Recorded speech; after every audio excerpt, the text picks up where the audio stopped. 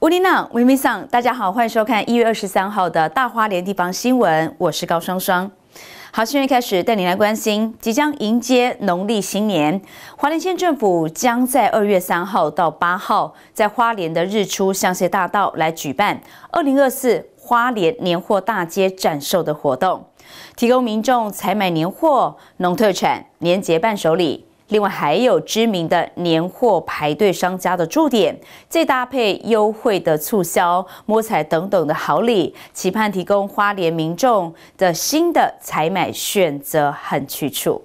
串联东大门夜市、中华商圈、整合夜市金三角，并与太平洋灯会结合。二零二四花莲年货大街展售活动将于二月三日至八日为期六天，下午五点至晚上十点于花莲日出大道开卖。一月二十三日举办活动宣传记者会，现场满满浓味，展示多样摊位。今年还升级满额好礼四重送，有得买有得逛，还能抽奖兼玩乐。二月三日至四日，并在现场办理二零二四花莲年货大街欢乐庆龙年绘画比赛。我要谢谢农业处，每一次都办得非常红红火火，尤其是我们的这个百大伴手礼名店哦，又从我们观光处这个举办出来之后，这一次也结合了年货大街，让从全国来的或观光客能够看到百大伴手礼，而且不用排队，直接到年货大街现场。就可以买得到、看得到、吃得到。另外，花莲县政府农业处也结合了我们相当多的花莲在地的农渔会，以及我们在地的这个呃呀这个茶楼街啊，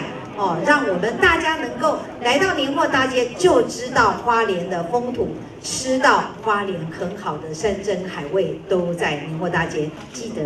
办年货，一次到年货，通通看得到、买得到。哦，这个还有。可以惊喜大奖让你抽。那今年的话，我们总共有九十个摊位，那总共有八十六家的一个伙伴一起来参。那今年的话，报名非常的踊跃。那今年的话，我们特别邀请到我们的排队名店，像是我们的波花岗山波平辣椒、杜林先生、那摩斯汉堡，然后小杨呃工作室这边都有来一起共襄盛举，希望能够让在花莲里面需要排队的名店，在我们年货大街能够来展出，让民众可以在年货大街一次满足所有需要的一个伴手礼，还有年货产。产品。那今年比较特别的是，我们有办理一个呃花莲年货大街的绘画比赛，希望能够让小朋友一起来参与。那在二月呃三号、四号的时候会有发画纸，那小朋友记得要到我们年货大街这边来做报名。那后续的话奖呃作品收回来之后呢，我们会透过消费者来做一个人气票选的活动。那奖品会是小朋友非常喜欢的一些农特产品的形状的乐高。那希望小朋友可以来多多参与，然后一起参与我们的年货大街。农业处长陈淑文提到，今年召集共计九十家摊商共襄盛举，规划四大区域，如特色排队名店区的加持驻点、传统南北年货专区。花莲优质农渔特产品区、年节伴手礼区，带来经济实惠的价格，消费满两百五十元即可获得摸彩券及好运搜集游戏券各一张，每日抽出电视、年菜组等万元好礼，最终日压轴更抽出 iPhone 十五等多项三 C 及家电大奖，现场也发送限量一千五百份的折价券红包，期盼乡亲有新体验并购主春节必需品，迎接龙年行大运的新气象和好运气。记者蒋邦彦华联市报道。